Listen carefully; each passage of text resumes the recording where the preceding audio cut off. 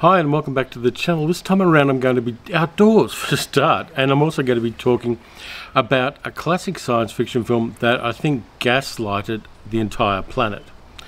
It's 1977 and the movie is Close Encounters of the Third Kind.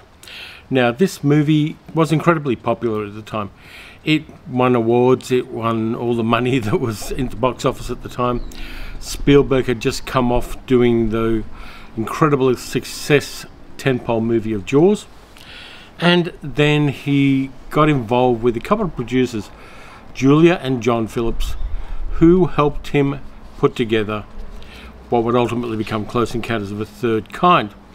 Now, we all know the story. Richard Dreyfuss plays Roy Neary, power repair lineman, who gets involved and sees a UFO and then becomes obsessed with a shape which turns out to be Devil's Tower in the center of America, and ultimately gets to go on a UFO. So that's basically the story. We all know it really well. But the movie isn't science fiction for me. It's the, kind of the opposite of science fiction, and I'll explain why. The making of the movie was really magpies. The making of the movie was really weird for a start because it was made at a time in Hollywood which was crazy, and and Julia Phillips, one of the producers, wrote a book about that time and wrote a book about her career in 1991, which everybody in Hollywood hated, which probably means she was onto something there. I'll talk about that in a moment, but I've got a cat down here who is really annoying and is very, very distracting. So, hang on a sec. She's down here anyway. But anyway, as I was saying, Julia Phillips talked about the movie. Now, this movie was made with a production that was 1970s. People were smoking dope, people were doing cocaine, people were dropping quaaludes.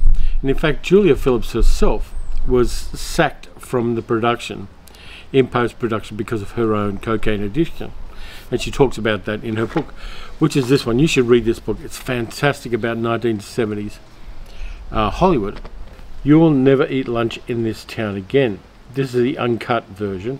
It's pretty thick by Julia Phillips, and it's got a lot to say about um, how she kind of helped Spielberg after Jaws to get involved with the right people to move his career forward.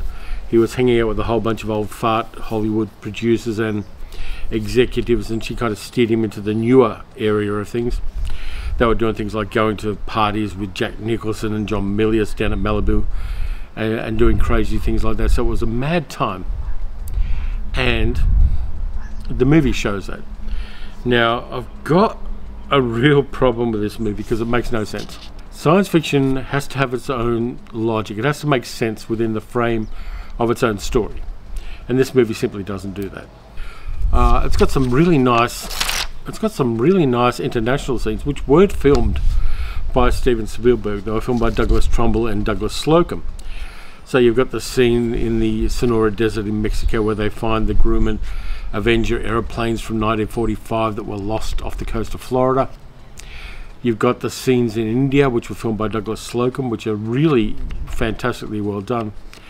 And you've got the bits where it's supposed to be the Gobi Desert and a bunch of um, Mongolian people find a ship in the middle of the Mongolian desert. Those things, hold those in your thoughts because they're why the movie doesn't make any sense. By the way, at the end of the video, I talk about alternative castings they could have done for this one, which is kind of interesting and would have led to interesting movies. There's Luna. She's finally got into the video. She's out in her realm and I'm invading it. I, can't fault the film for a lot of things. I think the acting is really great. Dreyfuss is good. Um, Melinda Dillon is great playing Gillian. Teri Garr is good playing uh, Roy Neary's wife. Uh, you know, the, the, and Bob Balaban is really good as the translator in this one. So, you know, the, the acting's on point. The cinematography is great. The special effects are next level. But here's where the caveats come for me. The John Williams music is too manipulative for me. It's supposed to pull you into this world of flashing, zooming lights and light bulb headed aliens and all that kind of thing. But for me, it's way too manipulative, as indeed it was in E.T. Works in Jaws, worked even in Star Wars, but that kind of over syrupy and, and over egged pudding of the John Williams music in Close Encounters just doesn't work for me. And um, so that's one thing. The other thing is the movie doesn't make any sense, as I said. Here's why.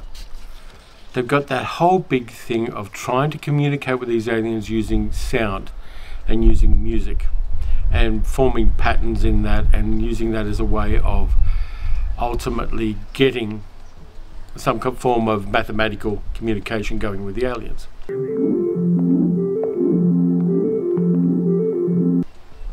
Here's my problem with that.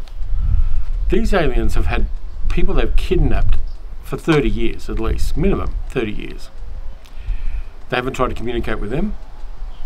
They haven't actually looked at the books that were plainly on that big ship they kidnapped.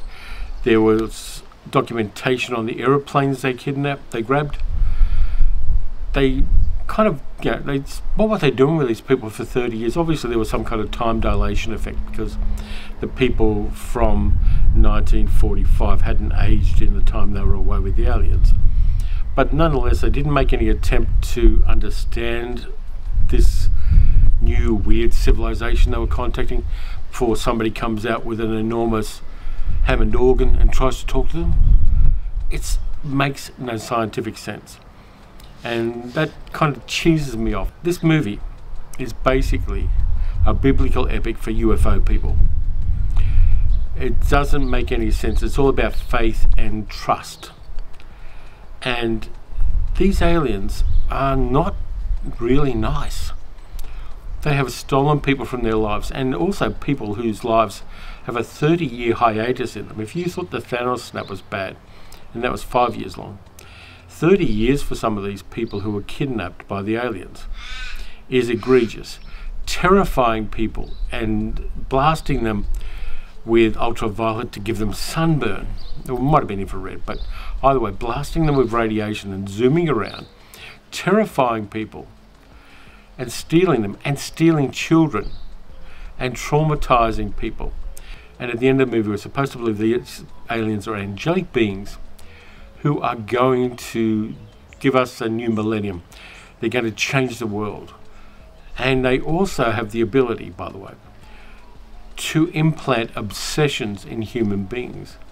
Roy Neary and all the people like him were obsessed with getting to Devil's Tower because they had an implanted idée fixe in their minds. To do that, these aliens brainwashed people. And then, of course, the authorities are all about communicating with them using these light engines, kind of like George Clinton meets ELO. And I don't buy it. I didn't buy it at the time. I don't buy it now. The movie was all about the feels and not about the brain. And any aliens who did what these aliens did are no better than the aliens in Mars Attacks. They basically traumatized a lot of people. And my theory is, I've got, I've got a way up theory about this movie is, these aliens are messing with the American authorities because they probably already know how to talk to people. They've had people for 30 years. They have had our written communications. They've had even just the writing on the engine blocks of these planes would tell them something about how human beings operate. And, and they had human beings to try to communicate with. The one I watched was the extended version, which came out about 1980. And at the end, they add a little bit where Richard Dreyfuss goes into this kind of disco shopping centre alien spaceship. And by the way, why do they have the lights turned up that brightly? Are they trying to, you know, blind people? Uh, yeah, I hate this movie because it's anti-science fiction. It's basically a religious cult movie for UFO people. Who knows whether Close Encounters had an influence on Heaven's Gate cult? It would not surprise me one tiny bit if it did. I hate movies like this, and the reason I hate them is they don't follow any kind of logic. The human beings act in a way that's all about giving us high popping visuals and giving us facile feelings and facile sense of wonder without giving us anything grounded apart from the acting. And Spielberg did this for a long time. There are Disney references in this movie to Pinocchio and using that little motif from When You Wish Upon a Star. This basically is a creepy movie in so many ways, watched from the point of view of, of this year. It's a crazy, creepy movie, and it's really disturbing in its implications. Now, having said that, Paul Schrader was the first person to have a go at making a script for this movie. Um, he worked with Spielberg and uh, the Phillipses, and they came up with a script called Kingdom Come, which was about a UFO investigator working for the American government and meeting a bunch of people who said they were kidnapped by UFOs. It was a very prosaic script. It was very much tell, not show, which is the improvement that Spielberg made on it. There was more show, not tell in the Spielberg version of it. But there was some weird stuff in the Paul Schrader version. Like somebody goes into space with the aliens and ends up in a vagina shaped nebula, um, which is kind of very much in tune with the drug use among Hollywood people at the time. It's um, I would just like to see that scene.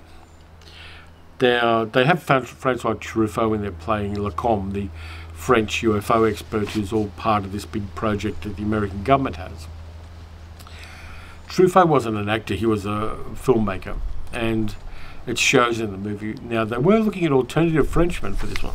They were going to go with Gerard Depardieu, Philippe Noiret, Jean-Louis Trintignant, and Lino Ventura. I would love to see Lino Ventura in the Truffaut role in this film. I think he would have grounded and made it gritty but they didn't go with it. And they were going to go with other actors as well to star as Roy Neary, which was kind of interesting to me. So the other choices they were going to make before they got Dreyfuss, and Dreyfuss, by the way, at the time had a cocaine addiction himself. James Caan was considered, Gene Hackman, Robert De Niro, Al Pacino. Can you imagine Robert De Niro in Close Encounters of the Third Kind? I kind of like that idea. I like it because it's a train wreck of an idea. So just to summarize, this movie is basically roller disco science fiction. It does not work at all in any way in a modern context. It's got very pretty lights, it's got some good acting, it's got some snappy visuals, but it's dumb in the worst possible way because human beings in this movie do not react the way human beings would, and it loses a lot of points for that.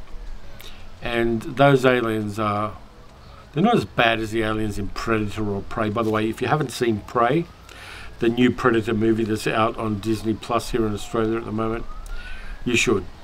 One of the best science fiction movies of the last couple of years and a fantastic action film and a bit of a game changer as far as representation is concerned as well. So you should check out Prey. But don't bother rewatching Close Encounters of the Third Kind this version's got three different versions on it. Theatrical version, special edition, and the director's cut. So, yeah, don't bother. Um, it would be my advice on this one. It's a movie of its time, and it's not the best science fiction movie. And it's part of that continuum in the 1970s, and I wish this ambulance would go past. And Close Encounters is part of that infantilization of science fiction that occurred in the late 70s with E.T. and Star Wars and, and this thing, where science fiction was dumbed down to a kiddie level and, with some exceptions, stayed that way for two or three decades.